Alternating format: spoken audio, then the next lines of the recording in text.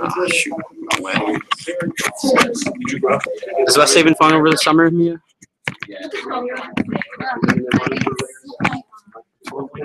Uh, well, I don't have the box that, um, but this is a lot closer, so I think it should be good. It's got the No, light. I'm talking about the microphone up there. Oh, um, it couldn't hurt. I mean, I think we're we're pretty close, but certainly wouldn't hurt anything. Well, no, 'cause I know you guys are like, It's just the light is Oh, like, right, so we're like, we're like right We can turn off- the station, like right now. maybe, um, you know what I mean? It's like the light from up there, it's like, You need light out? but maybe we get that, that one. I don't know if it should get just that one. Ben, are we There you go. Does that work? Oh, that's much better, yeah. Can you guys see okay up there? Well, you can Yeah. see the people. set? Uh, you can, Reflect the light on me. yeah, that's true. You guys I can can move get up. mine. You don't, you don't have to sit at the table if you don't want to. You can pull your chairs around if you like, or, uh, is this you guys? Yeah, that, well, that's my seat right there, but these seats over here on the front. Anyone want to move up? Shy people. All right, can we get started? Ben, are we all Right. set? You have the cameras rolling? All right, well, first of all, thank you all for coming. Um, I'm sure that I speak for everyone, uh, when I say that we're all excited to hear from our two guest attorneys, Richard Gora and Sinead Rafferty. Um, so before they start their presentation, I'd just like to give you a little background information on them. Um, I was able to see their resumes and it was very impressive, so I'm just gonna give you like a synopsis. Um, so both Mr. Gora and Ms. Rafferty attended Quinnipiac University School of Law. They graduated together in 2006. Um, Sinead has her own firm in Connecticut and Stamford. And she also works alongside Mr. Gora at his firm. She's of counsel there. Um, she specializes in commercial litigation, professional liability, and business counsel. And she's also a lecturer on medical and legal risk management issues. Um, as for Mr. Gora, he has his firm also in Stamford. Uh, they represent investment advisors in connection with state and Securities Exchange Commission enforcement actions. Um, they specialize in business counsel, business litigation, white collar and securities litigation, investment management counsel, and employment counsel. Richard Gora's firm has advised companies all over the world, including the UAE, UK, Australia, Vietnam, and China on business and contracting issues. Um, and then one thing that I found awesome was that he advised the founder of a technology company who had a successful exit upon purchase by Yahoo for approximately $50 million. So I thought that was very impressive. Um, so Mr. Gora and Ms. Rafferty are here to address crucial legal issues faced in the process of launching, financing, and growing a venture. They will share with us their personal experience in advising startups. Please give a warm welcome to Mr. Gora and Ms. Rafferty.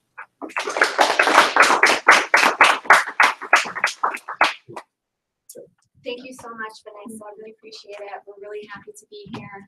Um, Rich and I are classmates from Quinnipiac Law School. We graduated in 2006.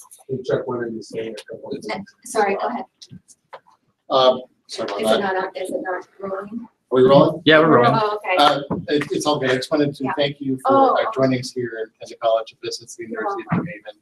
Uh, entrepreneurship is not, uh, it's not about economics. Uh, entrepreneurship is much broader than economics. Uh, we talked about this in the last hour. Entrepreneurship is the fastest area of, uh, of uh, business education right now. So if you're excited about entrepreneurship and you're not a business major, if you're excited about entrepreneurship and you're not an econ major, feel welcome here because the work we're doing in building a center for entrepreneurship and innovation led by uh, uh, Dr. Marks uh, is, uh, is cross-disciplinary by its very nature. One of the things I took away from our conversation earlier is our guests are more than happy to go off script. So uh, they want to provide to you what it is that you want. I told them that you're among our best students. So if something pops into your head, if you have a question, they're ready for you. All right, enjoy. Thank you very much. So I just wanted to impress upon you that a liberal arts education is so important. Take a bunch of classes, figure out what you want to do. I majored in biology with a minor in music and went to law school. So you can go any direction you want to. And I understand some or many of you want to have your own startups. If you want to start up now, go right ahead. You can, you can do it while you're in school or if you're just something this is what, you want to do after you graduate. We're here to provide um, some advice um, some basic steps on what you need to take in order to start your own startup, and um, basically just advise you and, and what you, you want to know and what you would like to hear from us. So at any time, feel free to interrupt with any questions and and um, as was said, we're, we're happy to go off script. We do have a PowerPoint presentation, but we're not um, married to it. Yeah, we, we, um, we did the PowerPoint presentation over the past two weeks, and then we had a meeting about an hour ago. We decided that everything we wanted to talk about is nothing that we're gonna talk about today. Um, But we may still do it. yeah, we still may do it, but, you know, we're really not gonna get into what we have here. Um, one thing that I just wanted to start off with is, even though we're lawyers, you know, Sinead and I worked at big firms prior to starting our own firm. So while we're lawyers, we're entrepreneurs in right as well, since we, you know, we, we gave up very high-paying jobs um, with reputable firms. I worked for the best firm in the, in the state. Um, you know, Sinead has great experience worked for very good firms as well. And we gave all that up to kind of start our own firm, start our own practice, um, give up the, the certainty of getting a paycheck every two weeks in exchange for doing your own thing, um, getting to meet people, working your own hours, and having the flexibility that comes with a startup. So, you know, it's not a startup in the technical sense of the term because we're not creating a product, we're providing services, um, services that are specialized based on our degree. And I think that's going to kind of be a, theme that runs through what we're talking about today. Um, Sinead and I have represented, you know, hundreds, if not thousands, of startups. We understand that the, the issues upon formation, um, uh, financial information, uh, getting funding, the legal risks, the business risks as well. And um, I, I- think what we want to do here is kind of structure this discussion so that we can give you some of the, of, of, of the good stories and the bad stories and some of the practical experiences that we've had with, with clients from, you know, day one until they sell to a company like Yahoo for uh, a nice chunk of change. So um, I'm going to skip over for the moment this next slide. Uh, I may get into it after we've gone through some of our examples so you can see how they apply in the real world. Um, so we'll get back to this. If anyone has any particular questions about these topics going forward, we're, we're fully prepared to answer uh, those questions. But just moving forward to more real life, um, non-abstract type examples, let's start with Facebook. I'm sure, or I, I wonder if, if, how many of you have seen the movie Social Network? Okay, so the majority. Um, obviously, you know, Facebook says that it's a work of fiction and it's Hollywood's interpretation of what happened, but it, it gives a very good and entertaining storyline, and a lot of the facts regarding the legal disputes are actually pretty, pretty right on point. Um, so just to refresh your memory of the movie, there are three issues I wanted to talk about um, that Facebook faced. And these issues are, are ones that could have been corrected at the very start of the venture.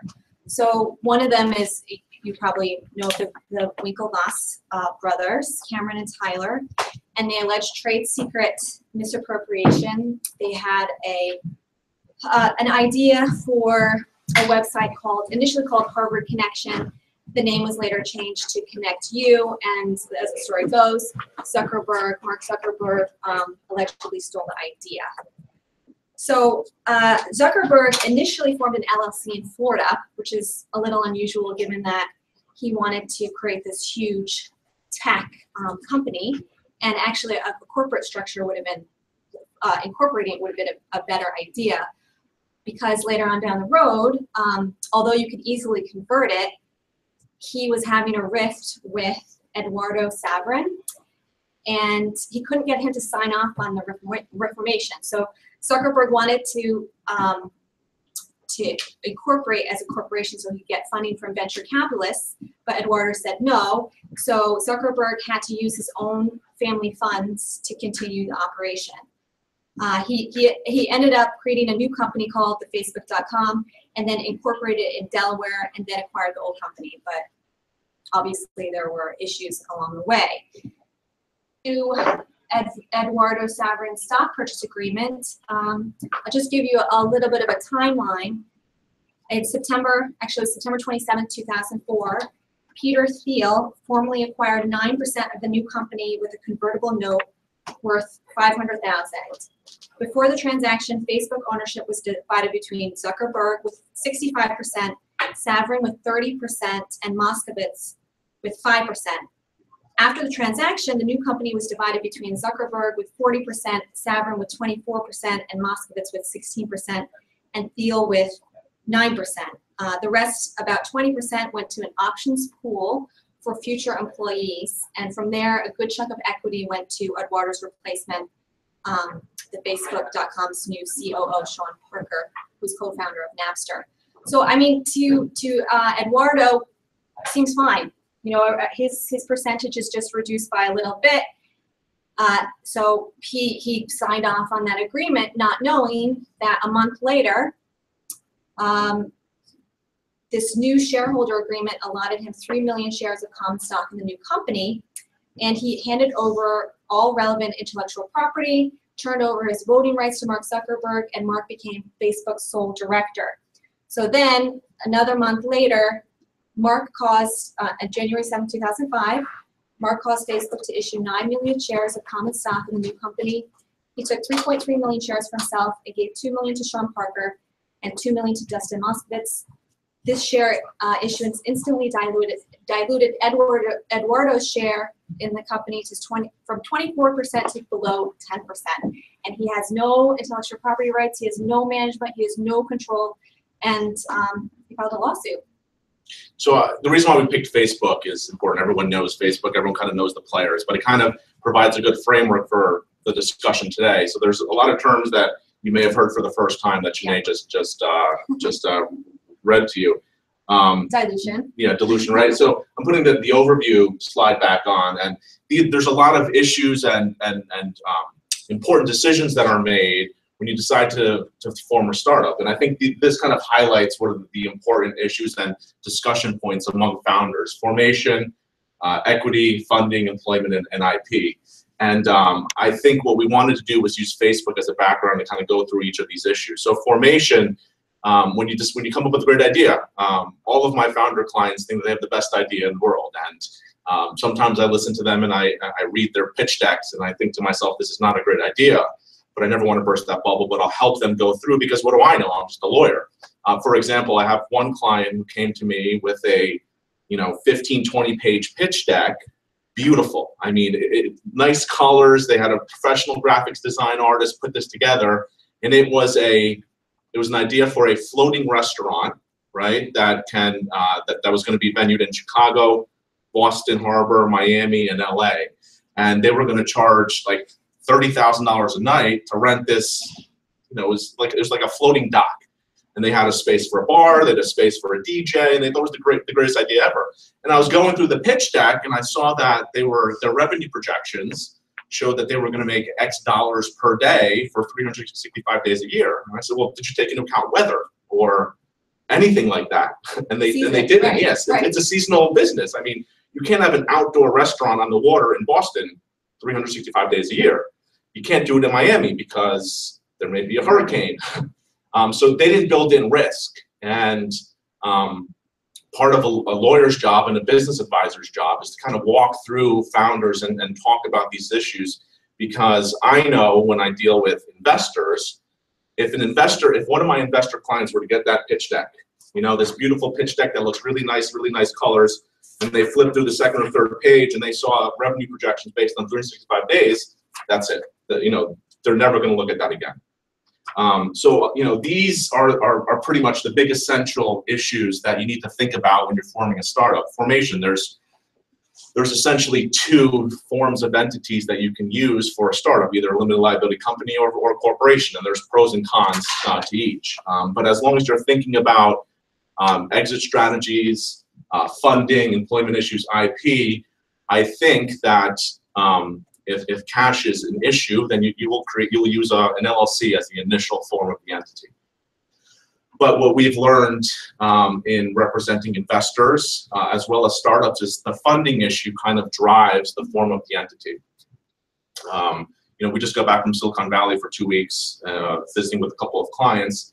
Um, and any investor, whether it be um, seed, um, drawing a blank here, seed, um, angel, angel, right, Right. and and and, and P, private equity or VC, are going to want to invest in a, in a corporation that's a C corporation. It's, so it's a uh, an aspect of the tax code that the corporation gets taxed.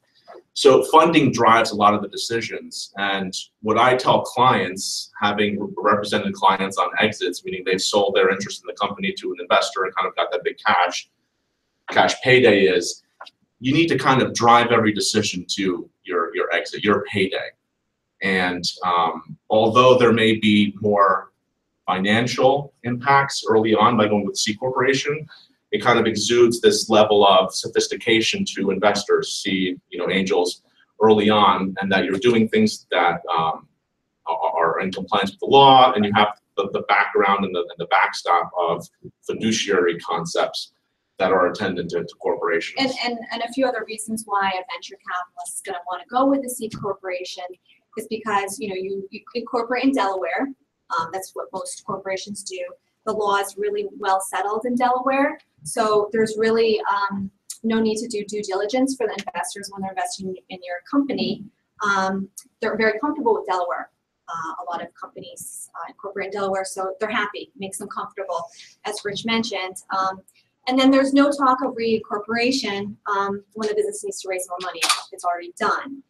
Um, an LLC is, is not suitable for businesses financed by venture capital funds because, as Rich talked about, tax restrictions on the fund's tax exempt partners. Um, so those are just just one of the considerations when you're first starting a company. Do you want to make it an LLC or do you want to make it a, um, a, a corporation?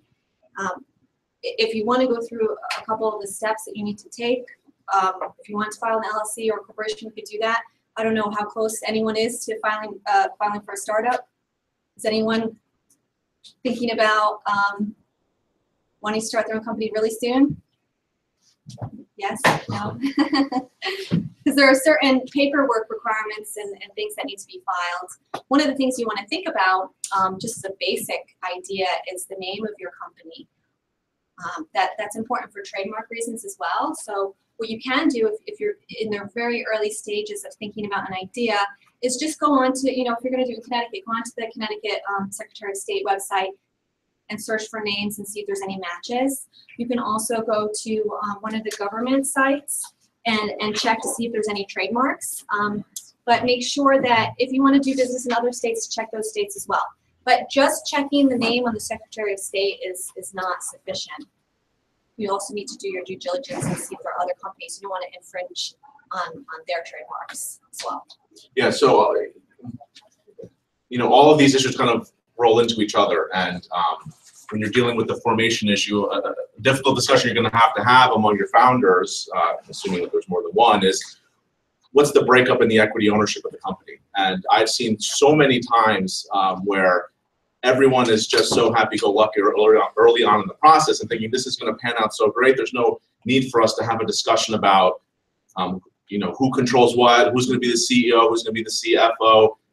And um, people just roll with things And it's also, a- it's a sensitive issue. yeah, very sensitive You don't issue. really want to talk about, it, especially when you have all the passion, you have all the excitement to then introduce money into it because maybe you're afraid that your other co-founder or co-founders might not want to continue with the process if they realize that, hey, you want fifty-one percent, which means that you have more control, or you think that your value is, is, is greater than theirs. Um, but it, it's important to, to establish that at the very beginning. Otherwise, you're, you're just, it just spells trouble down the road. And, and a lot of these startups are, are college students and, and really young people who don't realize the ramifications um, of doing this. So get it, get it in writing. Um, and even if you're raising uh, money from family or friends, get everything in, in writing and, and treat them as, as if they're, a, you know, a, an investor who's a stranger. Yeah, so I have a client who's a Silicon Valley company, does about a hundred million dollars of business. And they, they have a software solution that they've developed over the course of a couple of years, uh, I think two or three years. And there are three founders. I mean, these- were best friends since like kindergarten. They've known each other grammar school, elementary school, high school, middle school, college. Just have been with each other their entire lives. Came up with this great idea, kind of took off. They had, I think, uh, 100 employees as of April of this year. And then they went out to go get some cash from an investor. Private equity fund came in and gave them I 10, 15 million dollars. They got a great valuation from that. And as a result of getting that investment, the, the investor wanted a board, a seat on the board. And uh, a board seat is a very valuable thing. A board controls the big picture decisions for the company. And, um, you know, the three founders were just so closely knit that the investor saw that and he wanted to capitalize on that because his interest is monetize the investment as quickly as possible, get a return on the investment. So he drew, he, he kind of drove a wedge between one of the, uh, with, with one of the founders, who was the CEO at the time. It was his idea. He was the guy with the tech experience. He was the one that knew how to write the code for the company. And without him in the early stages of the company, just like Zuckerberg, there would be no company, there would be no product. He was instrumental to the success of the business early on. And while they had the discussion on formation and equity, allocation, purchasing, investing, what they did was they agreed that no one would own all the stock of the company outright in the beginning. They would be subject to a certain vesting provision, meaning as time passes, each month that passes, you'll get an additional award of equity that'll kind of ramp you up to when the three years or two years expires. So when the when the investor came in, he wanted that client out, that that founder out. So after I think two or three months of discussions to try to get get him out, they just fired him. And I he was entitled to I think it was like 20, 25% of the company. And because of the vesting provision and the, and the early on discussions that he had with his founders, he essentially lost all of his interest in the company and he got kicked out. So something that was worth hundreds of millions of dollars and that he created and that it was his idea and his IP that he transferred to, to the company, just like Zuckerberg did, um, he lost. And um, I've seen so many times where friends get together, you know, old time classmates, and everyone thinks that things are going to go well forever. But I've never seen a situation like that ever happen. So it's it's very important to have that discussion um, and talk about what happens when things go bad. Uh, what happens if there's a, uh, an issue? What happens if there's a dispute Or someone wants to leave. or someone wants to leave? On easy terms, you know, Yeah. not, not because there was a fight or anything, they have other obligations or they're not as invested in, in the company as, as they thought they would be. They're not passionate about it.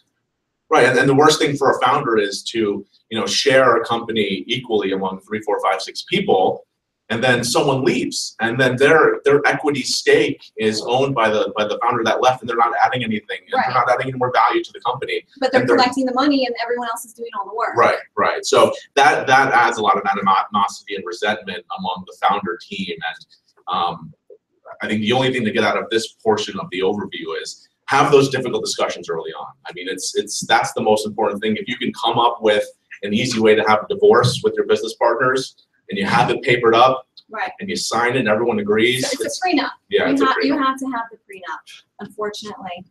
Um, you may not want to do it, but it'll help with litigation. Um, You know, and, and in my situation, sorry to yeah, cut you off. no I mean, worries. these are friends that have been friends for 20, 30 years, and now they've lost a business partner and a friend. Um, he doesn't talk to them anymore. They don't talk to him anymore, and you're losing, you know, both a friend and, and a colleague. Um, you know, they've spent Christmases and holidays, best men at each other's weddings, and that's all gone because because you know, greed is greed. Um, Rich, how many founders were involved with that case you were talking about? Was that Three. That's really interesting that Rich said this. I hadn't actually talked to Rich about this before, but when I was preparing this presentation um, last night and past couple weeks, um, I wanted to pick out a few high-profile cases for you. And it wasn't until today when I was reviewing the PowerPoint presentation that the three cases I picked, Facebook being one, there's three founders. And I don't know if it's a coincidence, but now this is the fourth situation where there's been an issue with three founders. And what happens, it's a, a human psychology thing, I think. And this is my own personal opinion. So if you want to have three people, go right ahead. But I, I don't know. I feel like um, sometimes two people side against one at some point or the other. And we'll get into the two other examples of three founders having an issue. Um, this is Snapchat. I picked this because Which just today decided to go public. Oh, really? Um, you guys are a lot younger. I, I do know about Snapchat. I'm not on it, but um, just for those who, of you who don't know, this is a company. It was originally called Peekaboo. Maybe you've heard about it in that sense.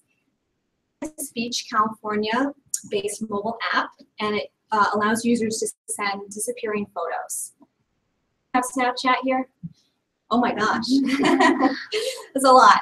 Um, so anyway, and, um, just for the people who don't know, More than 400 million photos are being sent on Snapchat each day, um, which is crazy.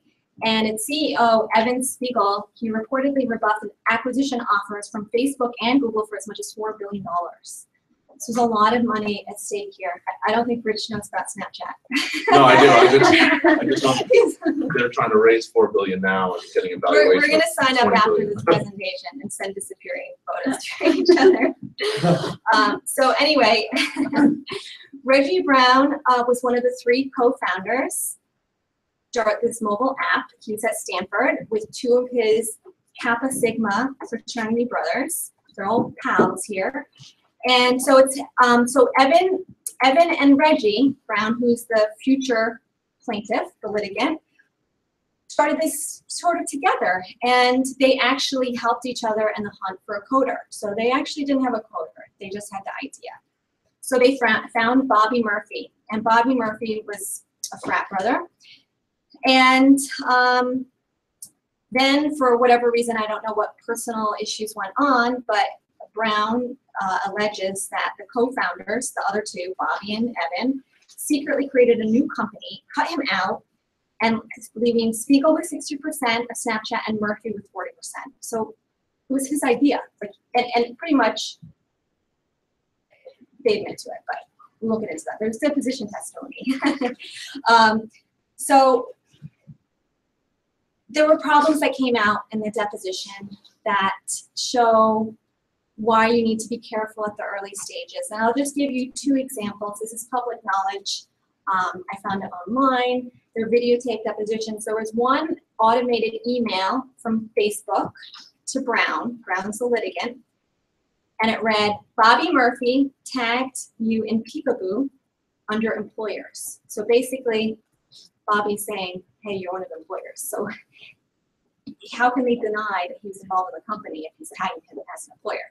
The second email that came out, and, and by the way, before this email came out, they questioned um, Bobby Murphy about it. He, he denied it. And then when he was shown it, oh, yeah, yeah, I did send that. But I don't really know what Facebook meant by employer, is what he said. Sorry. Uh, no, no, Facebook, Facebook, the automated message came from Facebook. And I, I guess on Facebook it labels, you know, you can say who your friends are, who your um, who's employees, employers. So then there was another email from Spiegel, and he was he sent an email to, to I don't know if it was a friend, but anyway, he said, I just built an app with two friends of mine, parentheses, certified bros. So at the deposition, Spiegel was asked who are those two friends. He admitted it was Bobby and Reggie. So just be really careful with, with emails back and forth at the beginning. Um, you know, saying what the founder's roles are. Um, I mean, it's hard to say that in hindsight because when you're starting a business and you have founders, you should all be on the same page. But this happened really early on. It's just something to keep in mind is either someone who might be on the outs or someone who is going to, who's planning on running the company. Doesn't that wear down the trust though that you need at the beginning? I mean, you're with friends there. And, you know, it's like asking your fiance for It's like a prenup. prenup. Yeah. I mean, It's only business. it's just business. absolutely, absolutely. I mean, that's hard to cut it. I mean, I, I can tell you, you know, in, in doing hundreds and of, of these type of with clients, more that's agreed to early on in the process is just that much better. Um, if, if you're on the same page on every single material fact or what could possibly go wrong, you're going to be that much better off at the end. Not only between founders, but between investors. An investor comes in, an investor wants to know that the founders are acting in a business-like manner and that their agreement is, drawn up in, in, in, you know, in whatever shareholders agreement needs to be there. And you're kind of exuding that sense of professionalism to an investor when you're pitching them. And they want to see all the documents. They want to see that you have the articles of incorporation, the stockholder agreement, bylaws, um, board resolutions, because the investor is investing in you in, as much as the investor is investing in the idea. And it's a very valid point. What, what investors do look at is the trust. Um, and are the founder, founders equally invested? So is one of them working another job? Um, various other things. What, what property interests do they have? Have they donated to the company? So trust is huge. Time, I, I don't know, it, it's a, it's a tricky one, but from a lawyer's perspective, right, you can say the same thing with, you know, family and friends who offer you money. Um, should you not put that in writing because you don't want to offend them? But oftentimes, there are situations where down the road, some uncle who, who gave five thousand dollars and now the company's worth X amount, they come, they say, oh, I, I was really involved in the start of the company, now I want, you know, thirty million dollars. What happened to the Texas handshake? I mean, would that count for something? I Um, mean, th- you know, in this Snapchat That's Snapchat, gonna result in the Texas brawl.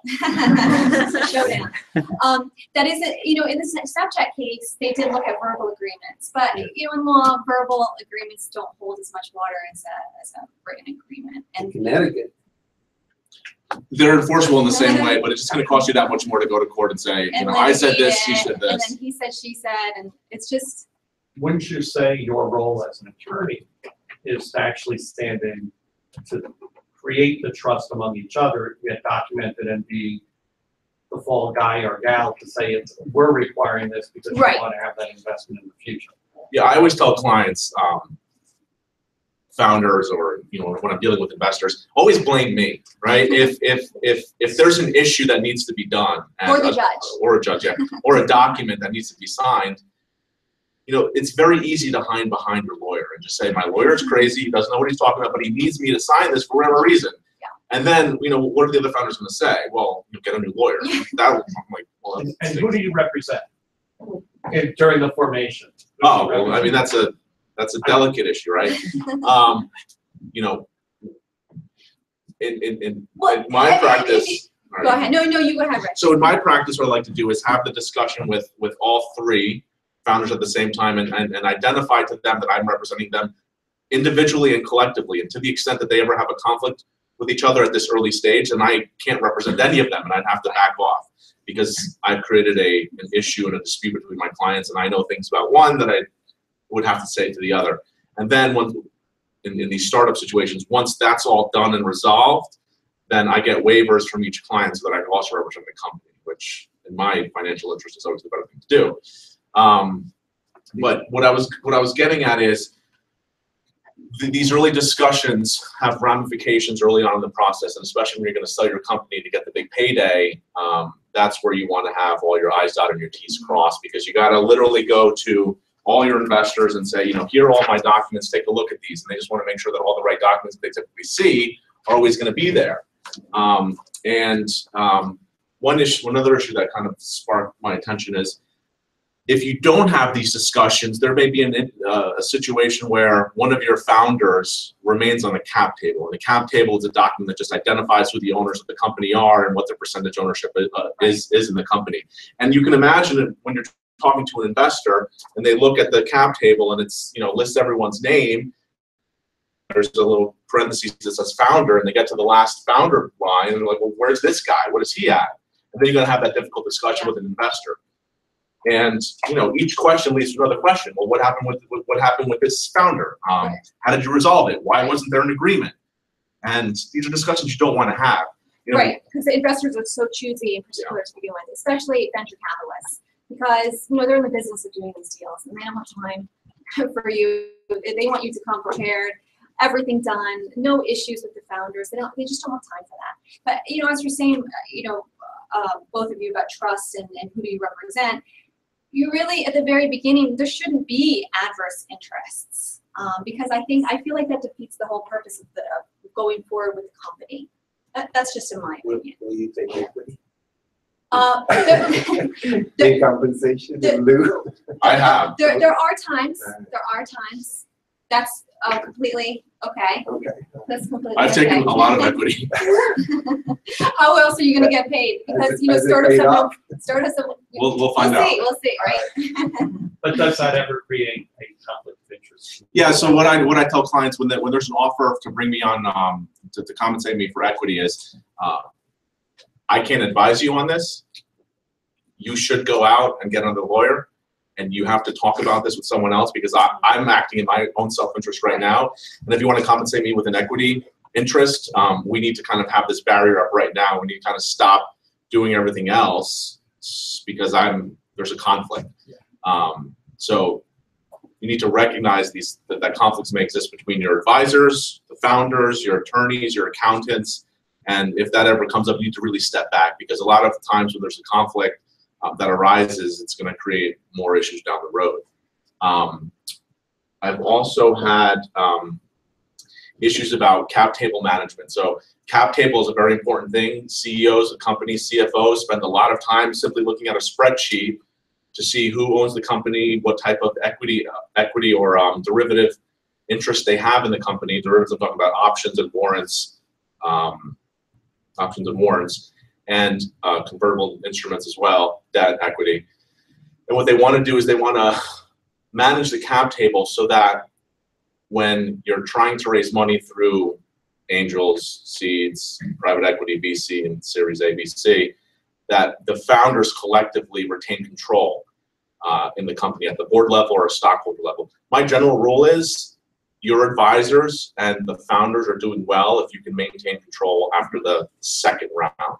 So you'll have, you know, the seed comes in, angel comes in, a Series A, which is you know big institutional money, and then Series B. If that, if after that Series B round you can retain control of the company at a board level and on a, as a stockholder level, then you're doing something really well, and you spent a lot of time um, managing the cap table. When I say managing the cap table, it's understanding how much equity you're giving out and what effect that has on your personal holdings and the the collective founder holdings. Um, um, what, what, that will have because once you lose control of a company, then it's not yours anymore. And you need to kind of create, a, you know, huddle. Huddle's been a term that's coming out recently, a lot of the news. Um, you know, create a create a pack of people that are like-minded, that are on your side, that are going to vote with you all along. Because once you lose that, then the company's no longer yours. And part of my practice also is litigation. Uh, we do a lot of big stakes litigation, and my bigger cases have been around the issue of whether whether or not or, or who has control.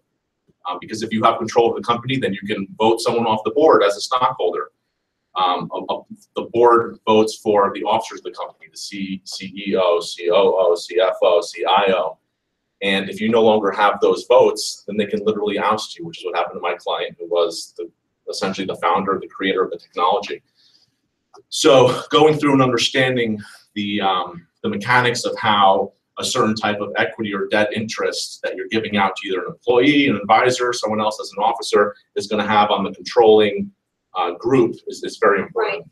And, and in most cases, you don't want to give out a board seat unless that person can add some sort of strategic value for you or can have, introduce you to different relationships that will build your business. So that's one of the, a common investor request to say, okay, I'll have a board seat and the person doesn't know any better they give a board seat um, when they're not getting really anything in exchange for that. Um, and then also investors are gonna ask for informational rights. So they wanna know what's going on in your business and they may ask for, um, and they're contractual, so this would be in, in a contract. And they'll ask for periodic updates. Um, monthly is acceptable, if- but if you have an investor who's wanting a weekly update or a monthly budget, that's way too much of an overreach. You don't wanna agree to that because the person is micromanaging you and it, it takes so much time to actually have to do a status up, update every week. Um, so that person is going to be um, uh, a diva, perhaps, um, and is going to cause other trouble down the road.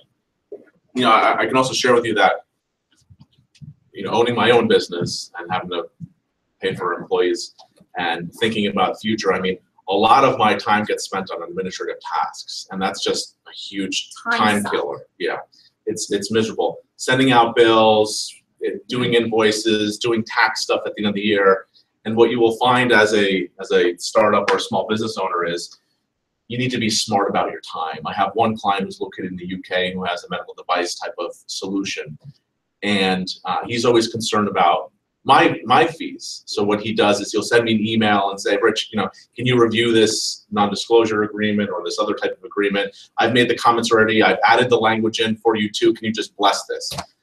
And he wants to do that because he thinks he's saving money, but I think it's just very short-sighted because then I need to go through and kind of erase what he's put in and kind of think of where what his mind's at. Never wants to have unnecessary work. never wants to have phone calls because he's concerned about that type of expense for him.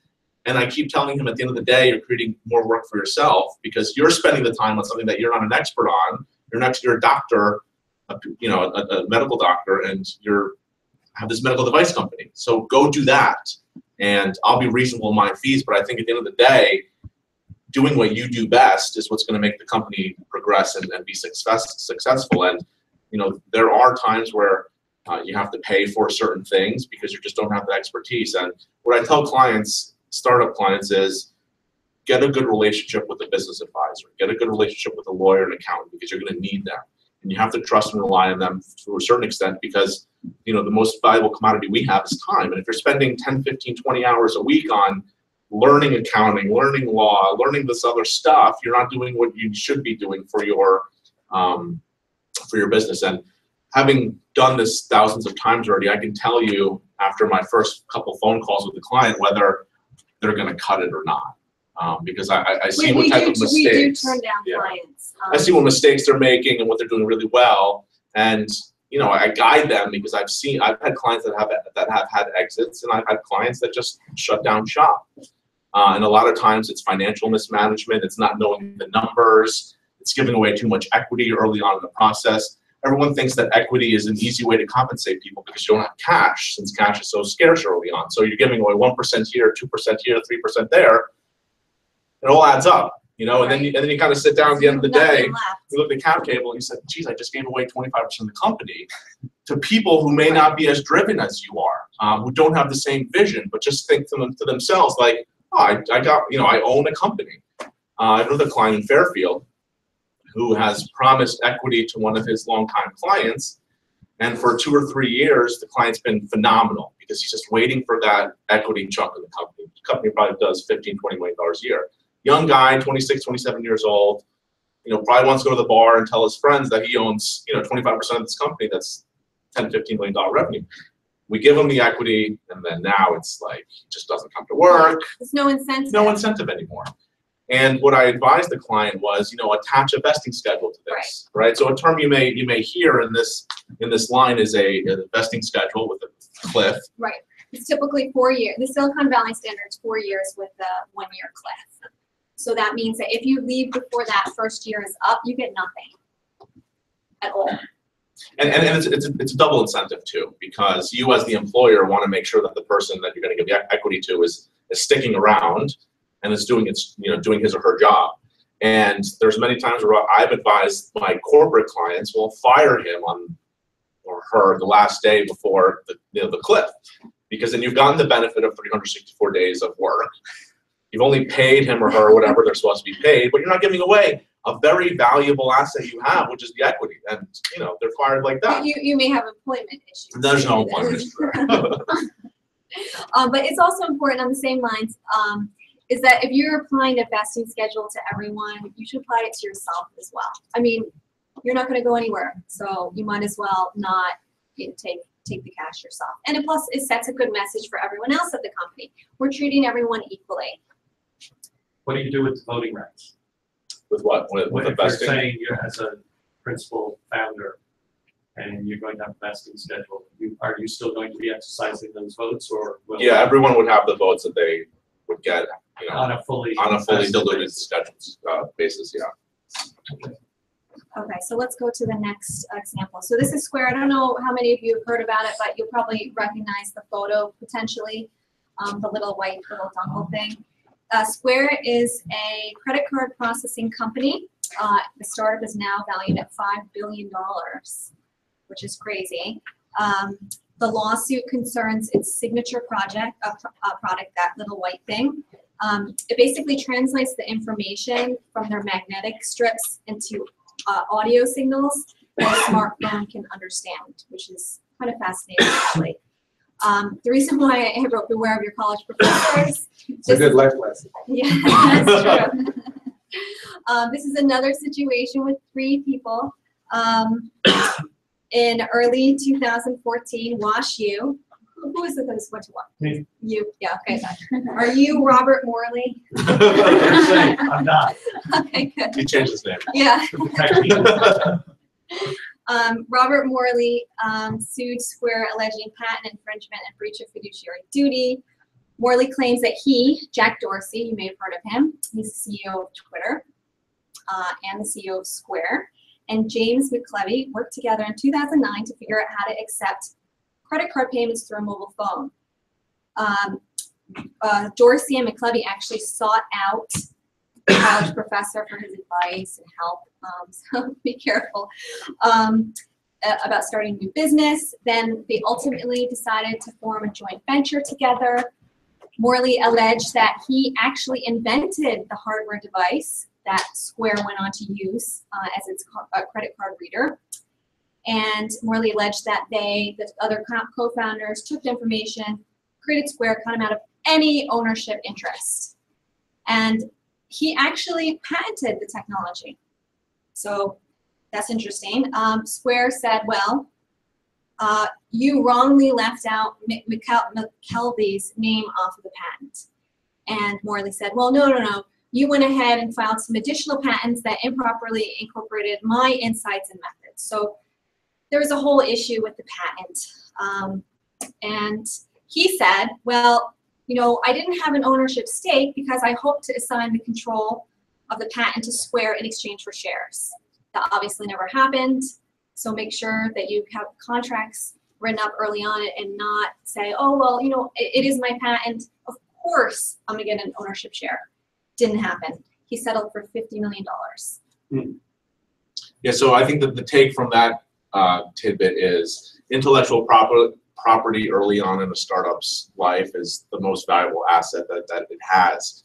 And while you can ascribe a value to it, it's essentially worthless to everyone in the world other than you. To protect it, it's vital that you have um, take takes proper precautions. Let's take the Coca-Cola formula. The Coca-Cola formula. I think you know two or three people in the in the in the company in the world have access to portions of the formula. They're what they're trying to do is protect it so that if someone were to leave leave the company and take what they knew about the formula, they couldn't go to Pepsi and sell that. So, you know, one person might know the first first third, the other person might the second third, and the third third. The point there is you need to take the proper precautions against intellectual property. You need to have non-disclosure agreements. You can't go telling everyone about this great idea you have because once you've disclosed it to someone else, then you're losing what's called the common law protection of trade secrets. Uh, a trade secret is something that's valuable, um, uh, an idea, and you protect it by not disclosing to someone else. Uh, you know, the next protection for trade secret is would be a patent, right? Your the purpose of a patent is to disclose your great idea to someone else, and in exchange for that, you get a certain monopoly over the product for a certain period of time, depending on the patent. Um, so when you when you retain an, uh, an employee or a consultant or bring someone on, then it's, it's, it's, it's so important to have them sign and agree contractually not to disclose the information, not to use it for any other purpose other than to help you. And keep it under lock and key. Keep it in a secure, on a secure server so that it's, if it's hacked, um, it's, it's not going to be taken and not going to be stolen. Um, and, uh, and, and, and keep track of who has what and, and when you gave it to them. Because if there is an issue in any subsequent lawsuit, you can kind of have that to establish the protection of um, over, over the trade secret. There's been tons of lawsuits that I've been involved in where um, there has been an allegation of trade secret theft. For example, one of my first cases was a case in federal court in Manhattan. Uh, it was a three-week trial before a visiting judge from Seattle. I don't know if this is becoming a theme in Washington. Um, but what happened was my client had worked at a chemical manufacturer, and the defendant um, also worked at the same chemical manufacturer. They both left. One bought the technology. My client looked at patents and other publicly available information and came up with this technology. They both sued. They both sued each other, and at the end of the day, we prevailed because, in large part, the other side, which is a PhD chemist, kind of admitted on the stand that to lying to the judge. I think during the trial, we're all sitting there, and he's on the stand, um, and he looks at the judge during a question and says, "Judge, you know, do I have to answer this question?" And the judge goes, "Yes, you have to answer the question. You were just asked a question by your lawyer." And he goes, "I don't want to answer this question, judge." And we're all kind of sitting there like, "What's going on?" And you know, I'm like tapping the the, the, the foot of my partner at the time. And uh, the PhD chemist goes, Well, Judge, I've been lying. And at that point, like, we're not moving. what is happening? And he goes, but Judge, nothing I've said today has been the truth. And the judge goes, what do you mean? He's like, well, and he goes into this whole dialogue about how he's religious and you know, God just came to him and told him that he can't go on with this. So he says that um, you know we we never stole the technology, and you know Mr. Gora's client should win. And it's like out of a movie. You just never think that this would happen. So the judge goes, "Wait, let me get this straight. So your all your allegations in this case are false. Yes, and you've lied to me on the stand all day. Yes."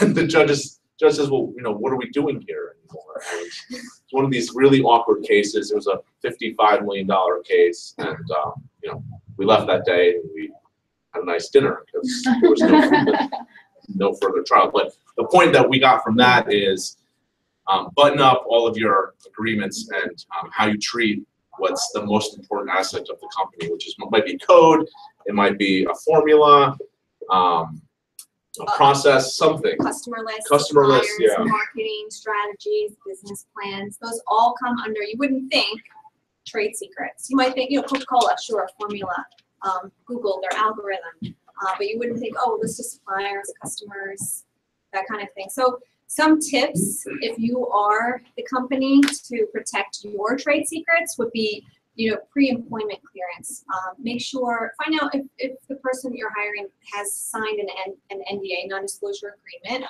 Also find out, um, if, you know, you- don't want to necessarily target your competitors' employees because then it seems like you're trying to obtain their trade secrets. So when you conduct a search to hire people, don't just look at your competitors. Um, just keep it broad.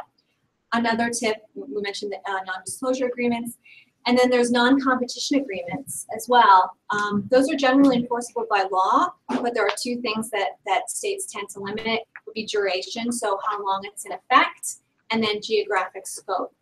Um, so you might want to put one of those in place.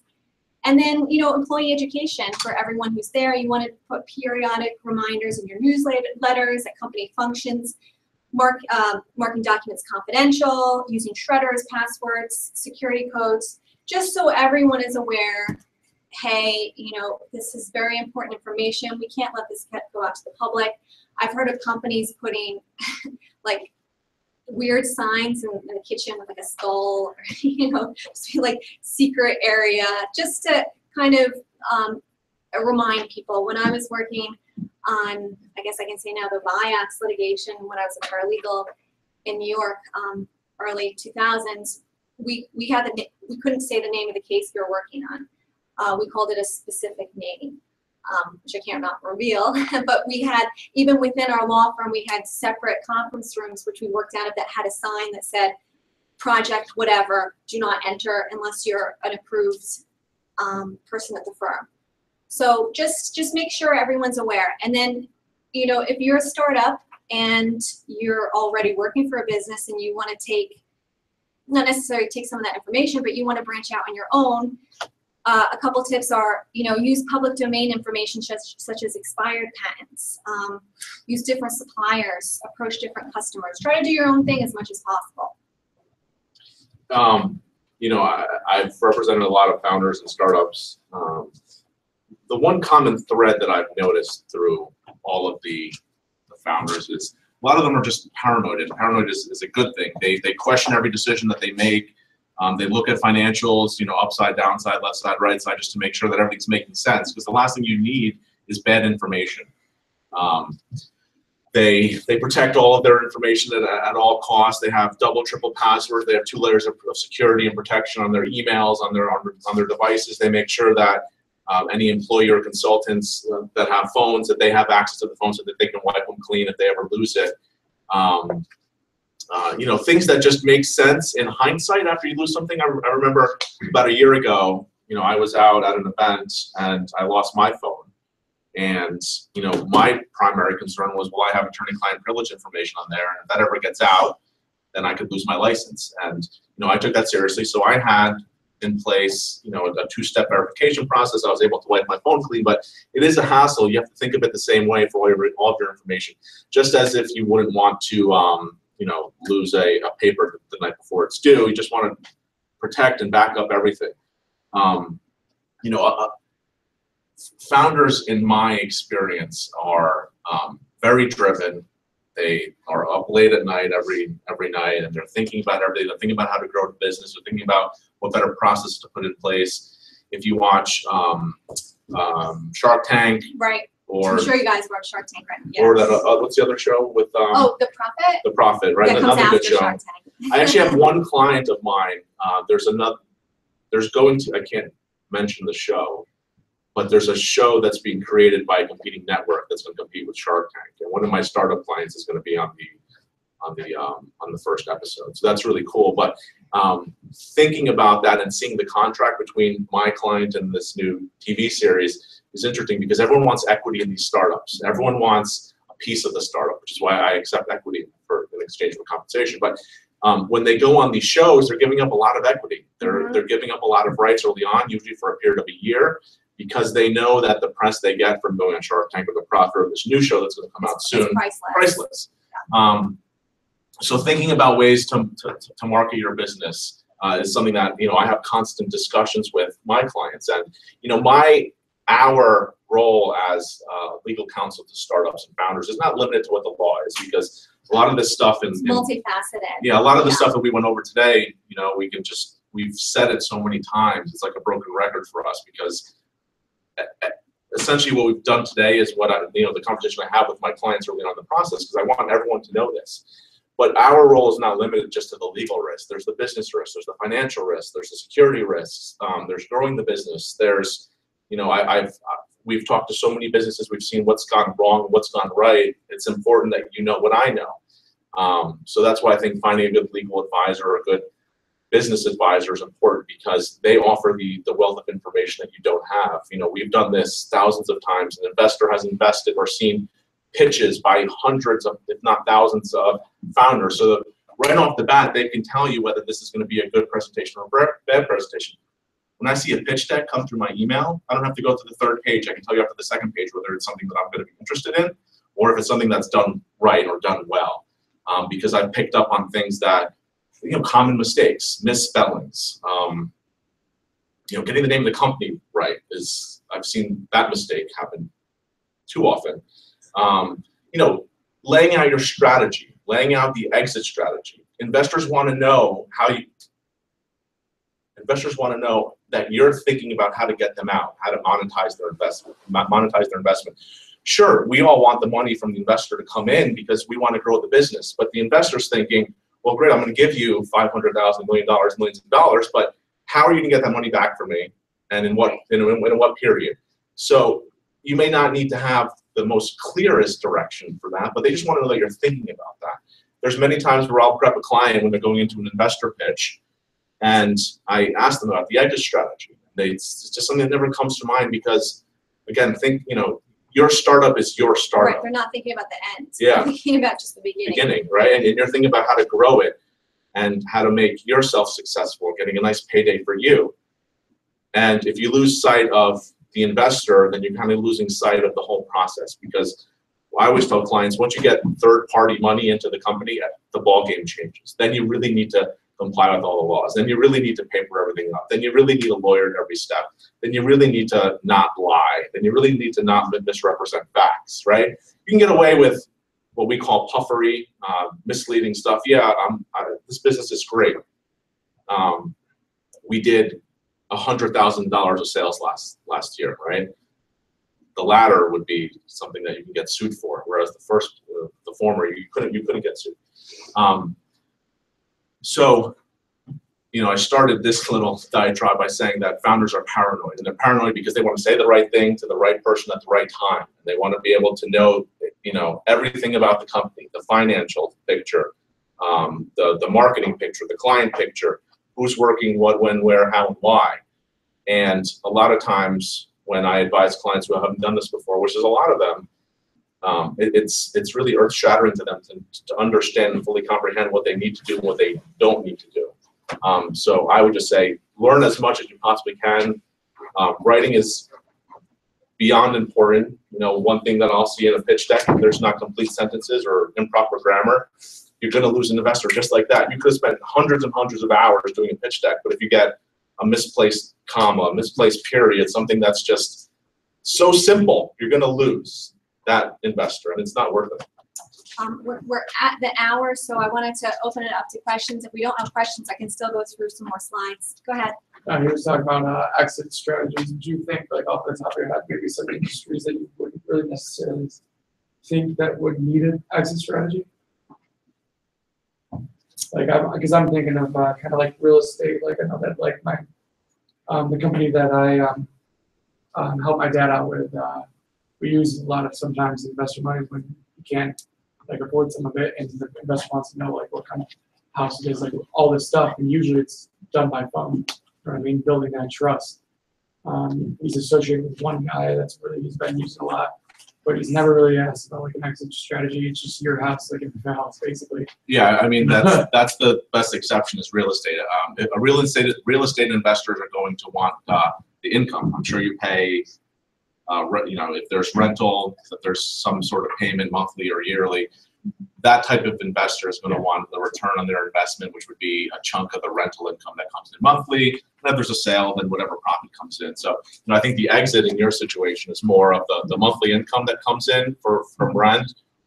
Uh, and when the, the property's eventually sold. Yeah, the way the way that he actually does it is he tries to uh, limit that with his rentals, so that like when he does it, he's chasing the sale. Basically, you're chasing the sale one foot. You know, you want to get that done Yeah. in a certain amount of time, but that's residual, that type of income. That's what we want, like ourselves. So it kind of varies. Yeah, It's yeah. interesting that part of the exit strategy is something I can use and apply to what I do on a daily basis. Yeah, it's, it's very important. Um, and then I, you know, I just noted here, talking, this is, more talking about venture capitalists, but they're not interested unless the expected return is in the range of thirty-five percent to forty-five percent compounded annually. So, it just gives you a, an idea of what they're expecting. Um, yeah, so what I'm wondering is, I know you mentioned that um, Optimus startups, you sort of have to take equity as a form of payment.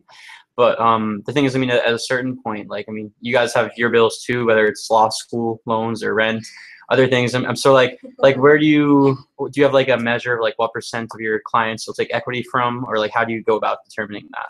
I usually determine if I think it's a good idea.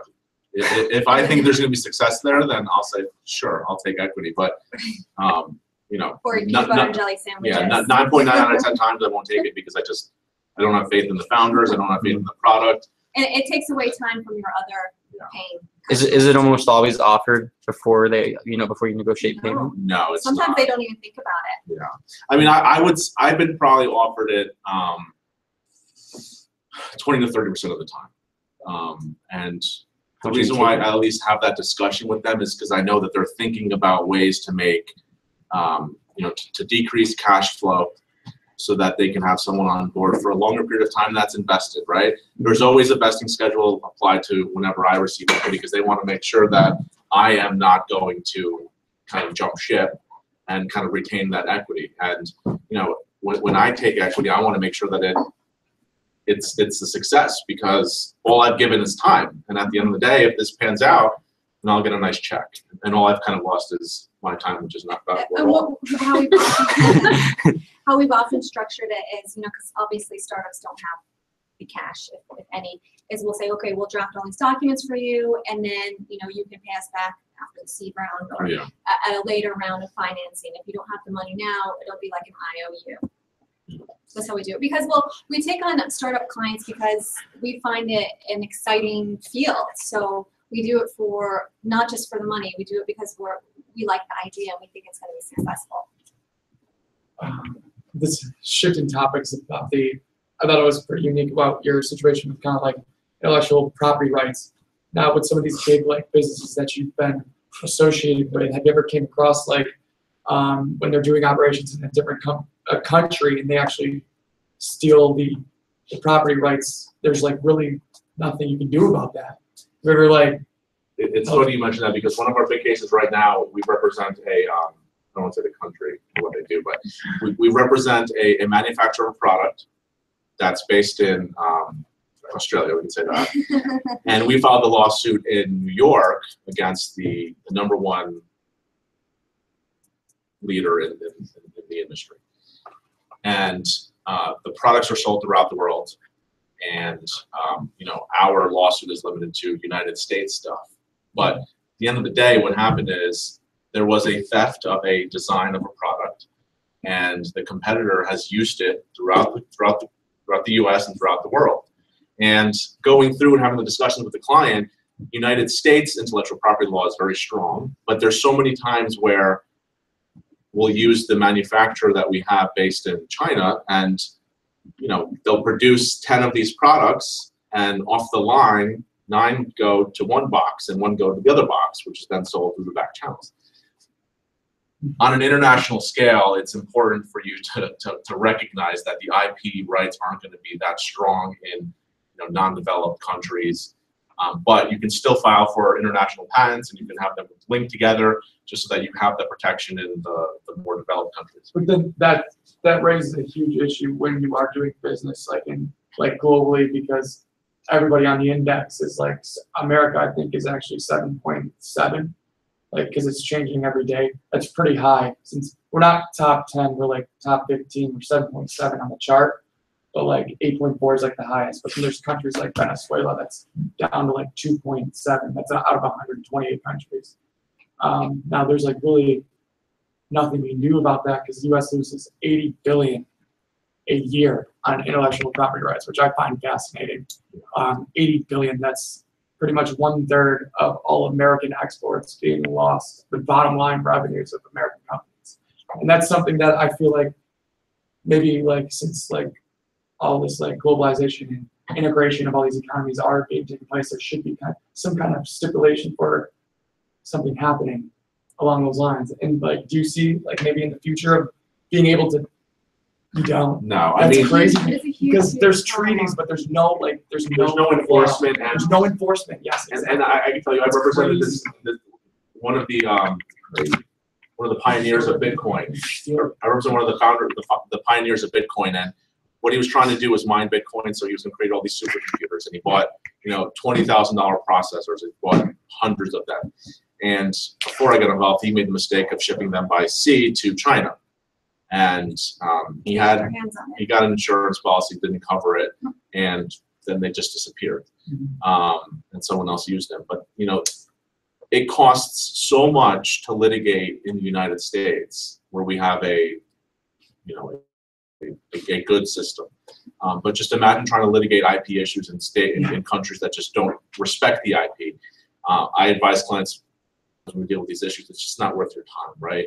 Um, you're not gonna get anything, you're not gonna be able to enforce it, it's gonna cost you a whole bunch of money, and at the end of the day, you're not gonna get the, the, the relief or remedy that you want. In the US, you have to protect your IP. If you, if you have a, a um, trademark, a trade dress, a copyright, or a patent, and you find out that others are using it, you actually have an affirmative obligation to go out there and cause, cause a, cause a problem. Send a cease and desist letter, if it's really egregious, then file a lawsuit, because if you don't do that, then all of your hard work goes down the drain, because Right, there you is know?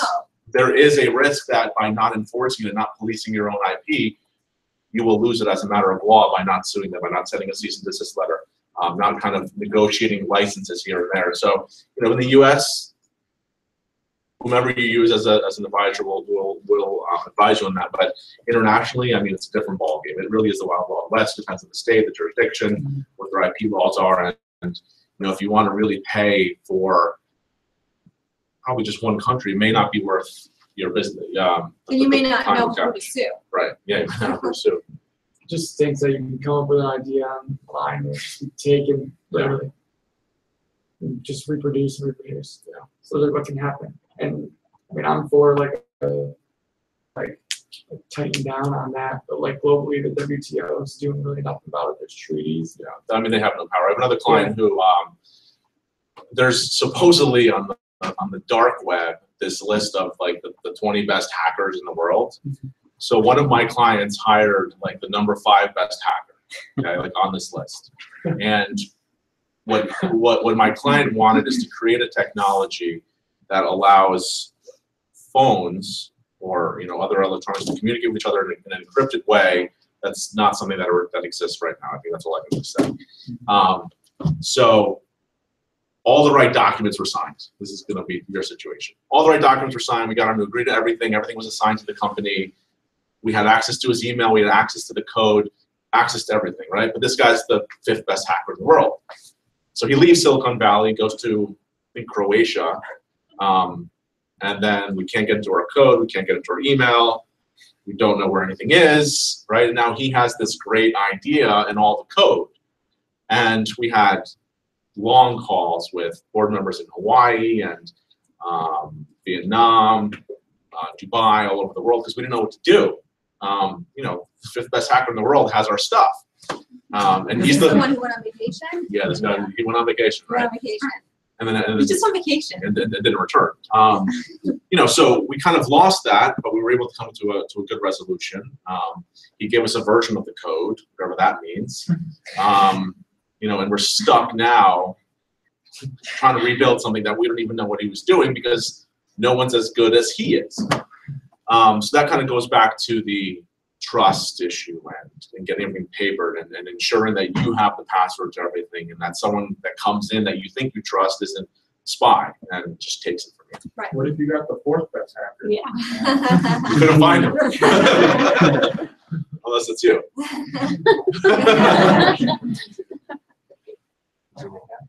Here, uh, as far as ownership interests, would you say it's more important to ma- maintain a large percentage, or would it be more important to maintain control through a contractual arrangement? So in other words, it's okay to own forty percent as long as you have a contractual arrangement that ensures you control.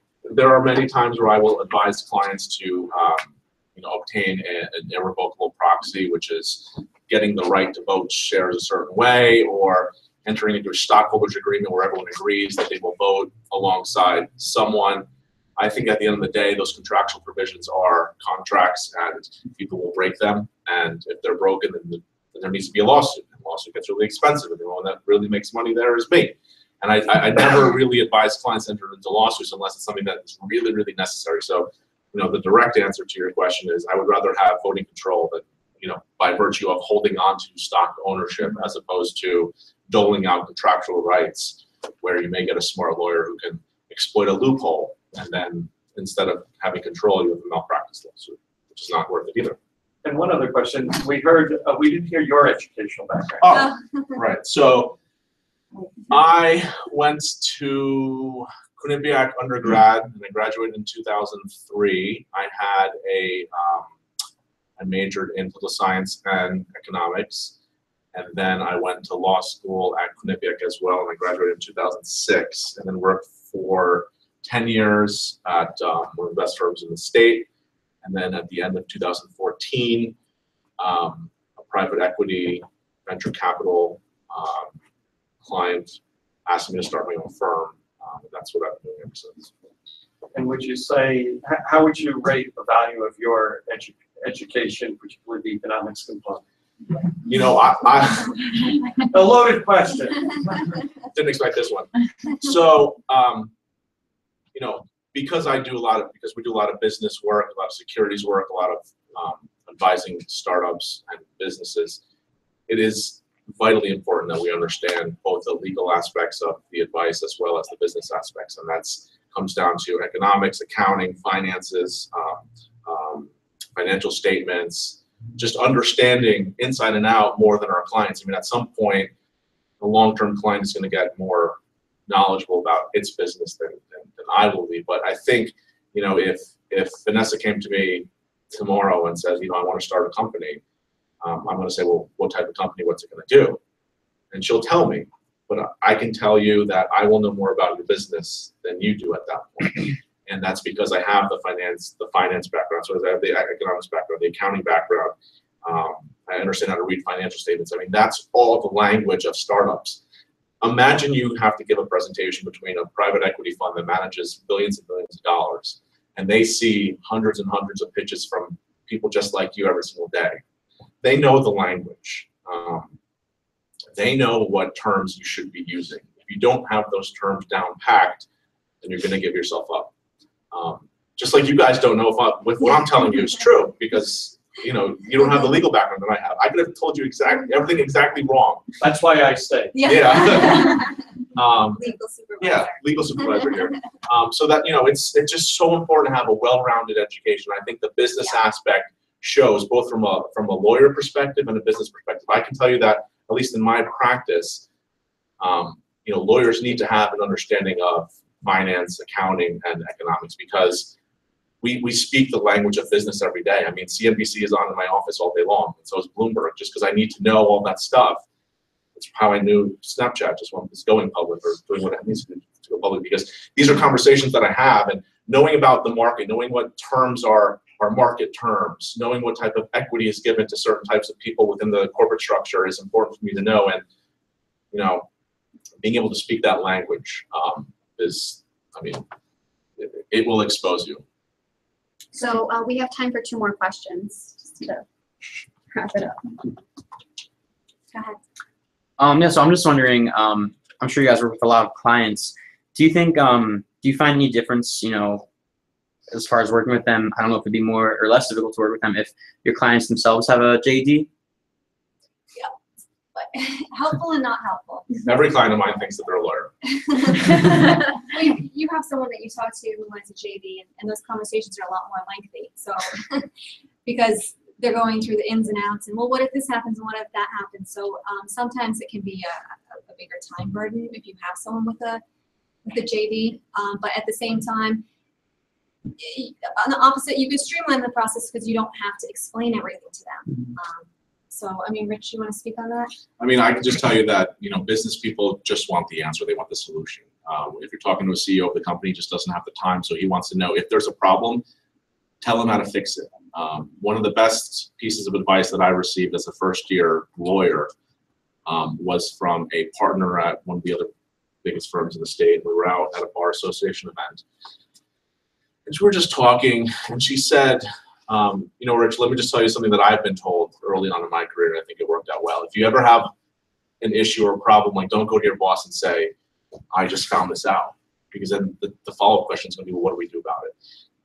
And in business, what I've learned and teaching and advising clients is the solution is always more important than the problem because you, you want to reduce the anxiety and the stress of your clients and, and your employees and, and yourself. And if you can problem solve and be um, uh, proactive about issues and not cause, not create a mountain out of a molehill, um, that's just super important. And I think lawyers more often than not want to kind of talk through everything to kind of get to the right answer. Whereas business people will be like, okay, great, you know, there's a hundred thousand dollars missing from the bank account.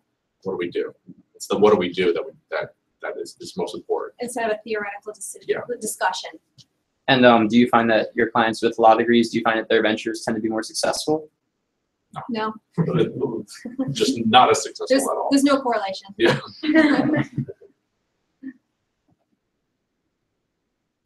Anything else?